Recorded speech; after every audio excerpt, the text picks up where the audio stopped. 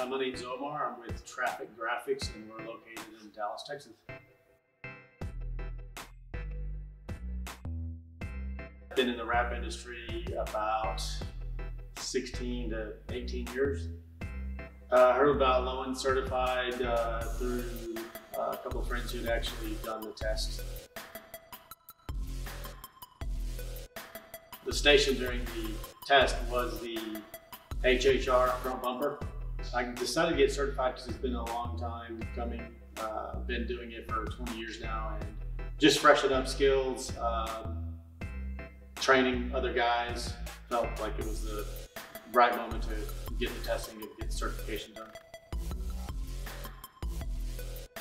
Being certified just helps uh, establish um, our company uh, more professionally. Now that we got the certification, you know, we can badge our shirts, badge our company vehicles. My overall experience was uh, was fun. Uh, it was a little challenging. Uh, learned. You've been doing this for a long time, but I'm still, you know, still learning. Had learned a few things here just from uh, just from my experience here. I would definitely recommend low Lowen Certified.